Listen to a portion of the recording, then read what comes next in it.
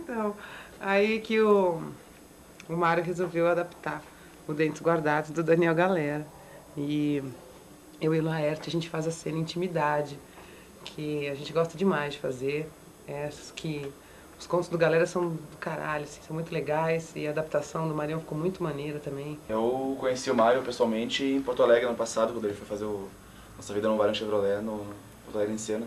E eu tenho uma certa resistência a teatro, assim, no teatro que se faz normalmente, assim, eu sou uma pessoa que não vai muito ao teatro, eu tento e, e dificilmente eu gosto do que eu vejo. E aí o Mojo tinha falado pra mim que não, tem que ir ver o Mário. E eu fui, foi, pô, foi uma das melhores peças que eu visto na minha vida, assim, um teatro espojado, assim, valorizando textos, texto muito bom, assim. E aí eu, foi isso, daí já, o Mário já leu meu livro, né, a gente tinha lançado mais ou menos na mesma época. E depois teve esse convite para adaptar, assim, eu fiquei super feliz, né. Eu faço a Linda e o Laerte. Como chama seu personagem, Laerte? O Emiliano. É Emiliano, é verdade, é Emiliano, verdade. cara- Nunca chamo ele pelo nome, tinha esquecido. É, um cara meio bruto, um cara que ama de um jeito meio brutal e que descobre isso num determinado momento da vida com a. Como é que chama esse personagem?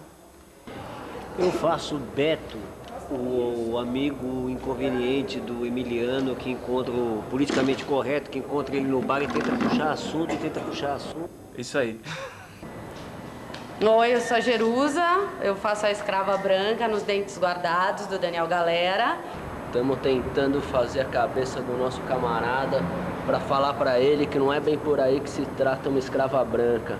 Ê, não me enche o saco. Qual personagem que você faz nessa peça aí que rolou? Eu sou. Que rolou que vai rolar? Não, que rolou. Dentes guardados. Que rolou, eu sou amigo do cara que contrata a escrava aí, eu sou amigo do outro lá, sou amigo, sou amigo de todo mundo, amigo da garotada. Os contos que ele fez, ele escolheu quatro contos do meu livro que na montagem acaba fechando meio que uma unidade temática, assim, né? Já em torno de relacionamentos e tal, gente de uma, uma mesma faixa etária, assim. Então ficou, ficou um conjunto bem coerente, assim, né? Que no livro era um pouquinho mais heterogêneo. E a escolha dos atores perfeita, o trabalho dos atores foi perfeito, assim.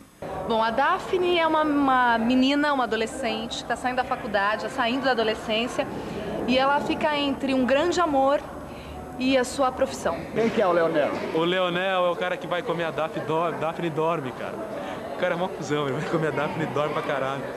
Aí ele, aí ele, aí ele descobre que tem que mudar a vida dele, a Daphne tem história que mudar a vida dela também, os caras têm que se curtir pra cacete, entendeu? Dentes Guardados.